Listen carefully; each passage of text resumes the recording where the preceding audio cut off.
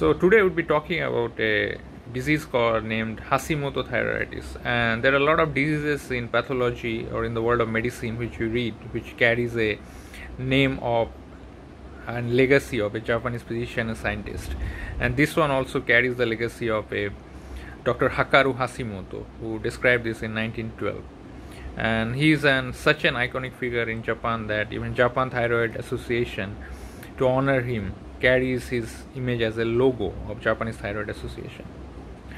Now there are uh, other diseases also like uh, you read uh, Kikuchi's lymphadenitis in the lymph node pathology. You read about uh, uh, Takayasu's arteritis in the vasculitis, Kawasaki's disease in the vasculitis, but those diseases we'll be discussing later. Let's today concentrate on Hashimoto thyroiditis. Now, Hashimoto thyroiditis, uh, the first thing that you need to know that this is the most common cause of hypothyroidism in the iodine sufficient part of the world. That means if there's no iodine deficiency and you are having hypothyroidism, patient of hypothyroidism, the first thing that you need to put on the list of your differential diagnosis is Hashimoto thyroiditis. Second important point that is an autoimmune disorder, and like any other autoimmune disorder, they always come in groups. So, if you have a patient who is having Hashimoto's thyroiditis, there is also increased risk that uh, the patient will be also having other autoimmune disorders uh, like uh, myasthenia gravis, like vitiligo, like primary biliary cirrhosis, like SLE. So, all these kind of diseases they usually tend to come together, the autoimmune group of diseases.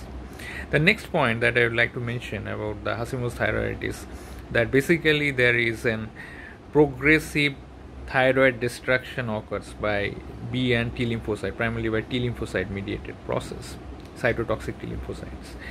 Uh, and what actually happens in uh, Hashimoto's thyroid is that one day suddenly uh, the lymphocytes start to to think that these the our body's immune system they start to think that the thyroid tissues thyroid follicular cells follicles they are foreign.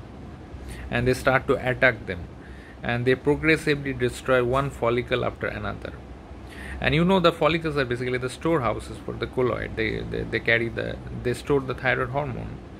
So if one follicle after another they are getting destroyed and they get replaced by the lymphocyte infiltration what is going to happen that uh, very soon you would be having a severe hypothyroidism because there will be no follicles left not much follicles left within your thyroid. And another point that i would like to mention here that initial state now they usually present with a hypothyroidism progressive hypothyroidism. Initial state there could be hyperthyroidism at that stage when initially when a lot of follicles are getting destroyed and their contents are coming into the circulation this state is called hashitoxicosis hashitoxicosis means uh, you can break this word into two halves hashimoto thyroid hashimoto thyroiditis plus thyrotoxicosis. So hashi is hashi and thyrotoxicosis toxicosis. Both the things together is hashitoxicosis it means basically a hyperthyroid state which can be seen at the initial stage of the uh, Hashimoto's thyroiditis but eventually they are going to become hypothyroid and there will be a persistent and severe uh, hypothyroidism in cases of them. Now coming when we look at the the involvement of the thyroid in cases of Hashimoto's thyroiditis they always involve the whole organ thyroid organ diffusely and there is another uh, important wisdom or pearl that I would like to mention that if you are looking at a thyroid pathology and the thyroid pathology is involving the whole thyroid entirely, then primarily think about two things. One is inflammation of the thyroid, thyroiditis, or hyperplasia of the thyroid. And if the there is a presence with a thyroid pathology is present with a palpable nodule or node means some kind of bulging, localized bulging, then the first thing that you should think is uh, some kind of benign or neoplasm, uh, malignant neoplasm, and also sometimes hyperplasia could also present with nodules. But uh, if there is a diffuse involvement of the whole thyroid, the first thing we usually think is uh, thyroiditis and some kind of hyperplasia. Now, when we look at the first, in the best in pathological investigation, we usually do is FNAC. And FNAC, the thing that that catches our attention is that there is a very scant amount of colloid present in the aspiration, because normally when you we poke the needle in uh, while doing the FNAC into the thyroid, there will be a lot of uh, colloid come out. And the colloid will be mixed with the blood and that gives a color kind of brownish color.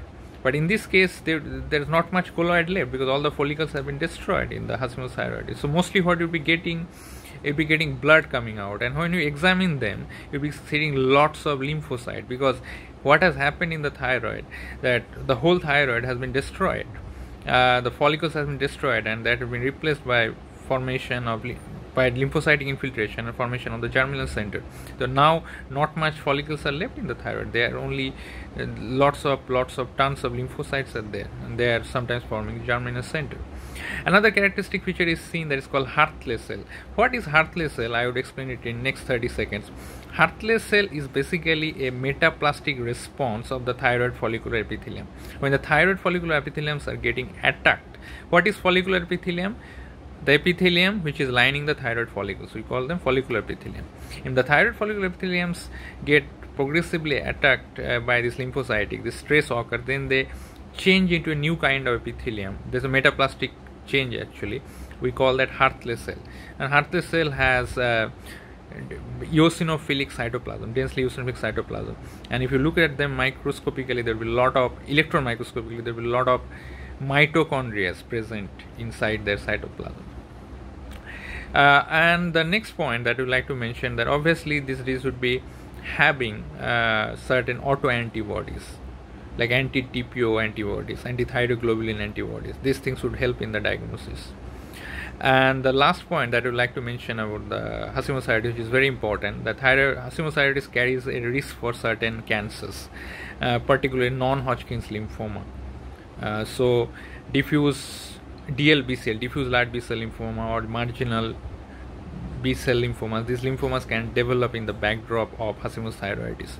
So, if a lady is having Hashimoto's thyroiditis for last 20 years, he, she was diagnosed at the age of 45 and now is around 65 70 and now there is a progressive enlargement of the thyroid gland it is causing infiltration into the surrounding tissues causing respiratory distress, causing dyspnea. This kind of presentation is occurring. You need to be alarmed.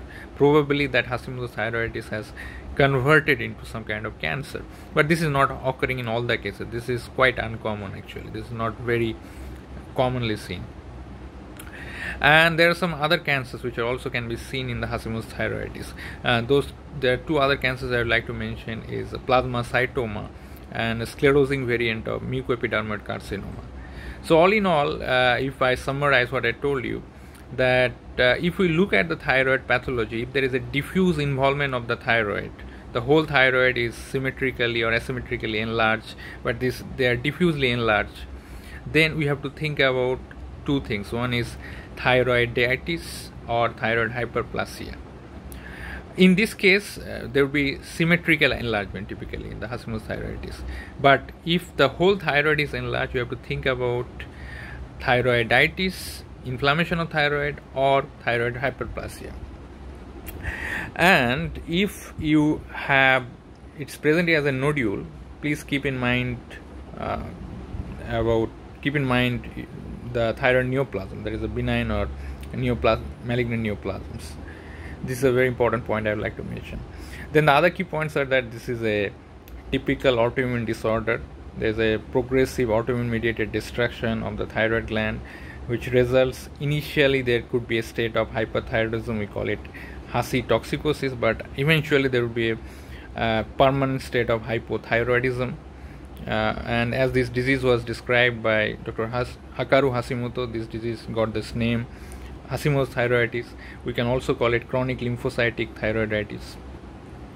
And when we look at FNAC, the, the key characteristic features we see a very scant amount of colloid or absent colloid and tons and tons of uh, lymphocyte because most of the follicles get replaced and destroyed by lymphocytic infiltration and they get filled with uh, and the whole thyroid basically gets replaced by severe infiltration severe lymphocytic infiltration with formation of sometimes germinal center also.